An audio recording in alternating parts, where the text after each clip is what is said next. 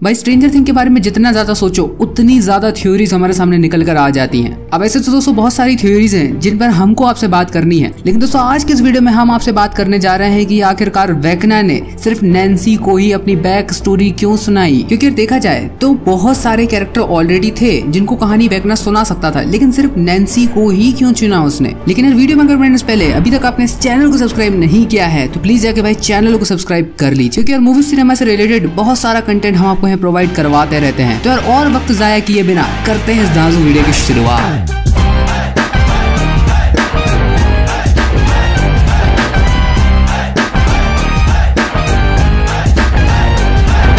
तो वैगना की एक स्पेशल एबिलिटी थी। वैगना अपने विक्टिम्स को माइंड के थ्रू कंट्रोल करता था, जो कि ट्रॉमेटिक एक्सपीरियंस पर बेस्ड होते थे, जो कि डेमोगॉर्गन से कहीं ज़्यादा अलग था। और दोस्तों, पर प्रॉब्लम तो तब सबसे बड़ी खड़ी होती है, जब यहाँ पर हमको इलेवन नहीं दिखती पूरी गैंग के साथ, क्योंकि अनफॉर्चुनेटली वो कैलिफ़ोर्निया में है। अब दोस्तों इन सब चीज़ों के चलते हुए यहाँ पर इस शहर में मर्डर्स बहुत ज़्यादा बढ़ रहे थे। और यहाँ पर दोस्तों नेंसी को ये पता लगाना था की आखिरकार ये सब हो कैसा रहा है। थोड़ी बहुत दोस्तों, और छानबीन कर लेने के बाद यहाँ पर उसको विक्टर क्रील के घर के और विक्टर क्रील के बारे में पता चलता है। और किस तरीके से दोस्तों, यहाँ पर विक्टर क्रील ने अपनी ही फैमिली को मार दिया गया था। इस बारे में पता करती है हमारी नैन्सी यहाँ तक दोस्तों हॉकिंस में जो मर्डर्स के केस हो रहे थे, वो बहुत हद तक सिमिलर थे। 1950 में हुए मर्डर्स से। अब दोस्तों, हम आपसे स्ट्रेंजर थिंग सीज़न फोर के बारे में बात करें तो यहाँ पर नैन्सी कृषि का केस सॉल्व करने के चक्कर में है कि आखिरकार उसकी डेथ इतने बुरे तरीके से हुई तो हुई कैसे? वही दोस्तों, इतनी ही इन्वेस्टिगेशन करने के बाद उसे विक्टर क्रील के बारे में पता चलता है। और विक्टर क्रील से मिलने के बाद वहाँ पर उसे ये भी पता चलता है कि विक्टर क्रील निर्दोष था। जो कुछ भी वहाँ पर किया गया था, वो उसके बेटे हेनरी क्रील द्वारा किया गया। अब वहीं दोस्तों एडी के पीछे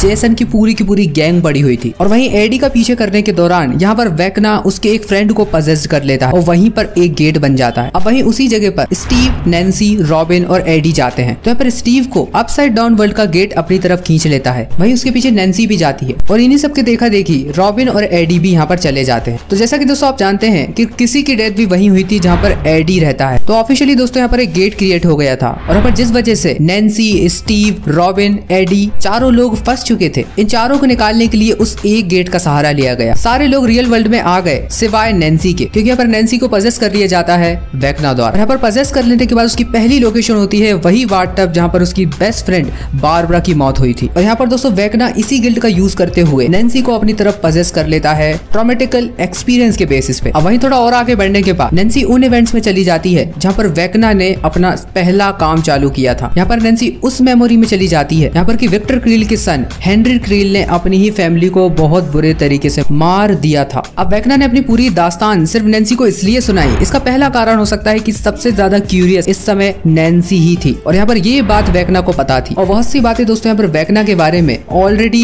नैन्सी ने पता कर ली थी न्यूज़पेपर और थोड़े बहुत इवेंट्स के बेसिस पे। और तो दोस्तों, बीच में एक ऐसा सीन भी आता है, जहाँ पर हमको इन दो लाइन्स का मतलब बहुत डीपली समझना था। You are so close to the truth तुम सच्चाई के बहुत ज़्यादा करीब। और दोस्तों, ये बात आप भी जानते हैं और मैं भी जानता हूँ कि भाई, अभी तक नैन्सी को पूरा पूरा ट्रुथ पता नहीं चला था। तो आगे की जो कहानी है, वो वैगना ने अपनी ही तरफ़ से बता दी। और तो दोस्तों, जब ये सीक्वेंस चलता है तो यहाँ पर इलेवन और नैन्सी के बीच में चलता है। वही दोस्तों ज़ीरो ज़ीरो वन इलेवन को कहानी सुना रहा है और यही वैगना नैन्सी को कहानी सुना रहा है। अब इन दोनों सीक्वेंस का साथ चलना तो भाई, मुझे समझ में नहीं आया। शायद ऐसा भी हो सकता है कि पर नैन्सी और इलेवन की डेथ को रिवील किया जा रहा हो। और तो दोस्तों, इस बात के चांस बहुत ज़्यादा हायर है। क्योंकि दोस्तों, वैगना जब अपने विक्टिम्स को चूज़ करता है तो फिर उनको उनके गिल्ट के बेसिस पे ही करता है। और पिछले कई सीज़न से बारबरा को बिल्कुल भी नहीं बताया गया। और अंदर ही अंदर नैन्सी को बारबरा के खत्म हो जाने का गिल्ट तो है ही। तो भाई ऐसा हो सकता है की यहाँ पर नैन्सी की डेथ भी हो जाए। और वही दोस्तों, इससे रिलेटेड एक दूसरी थ्योरी भी है। शो के क्रिएटर्स ने कभी भी नैन्सी को एज अ हीरो कभी भी रिप्रेजेंट नहीं किया है। इसलिए यहाँ पर दोस्तों, ऐसा देख कर लगता है की वैकना स्पेशली रूप से नैन्सी को कहानी सुना रहा है। और यार, सच में, बंदी ने बहुत ज़्यादा मेहनत की है वैकना तक पहुँचने के लिए। और वही वैकना भी नैन्सी के एफर्ट्स को बहुत ज़्यादा अच्छे तरीके से समझता है और वो उसे बधाई भी देता है। इस लाइन के रूप में you are so close to truth अब वही दोस्तों नैन्सी और स्टीव के बीच में दूरियाँ बहुत कम होती जा रही हैं। ऐसा लगने लगा है कि वो पहले स्टीव और नैन्सी जिस तरीके से रहते थे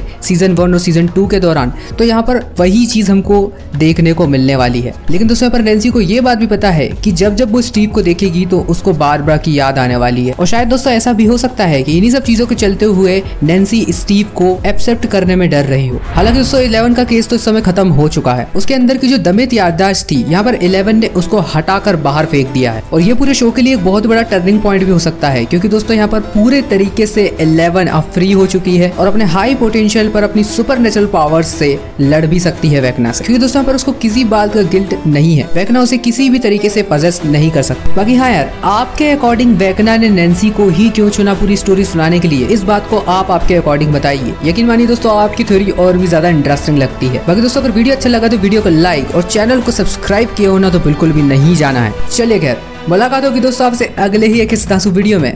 तब तक के लिए बाय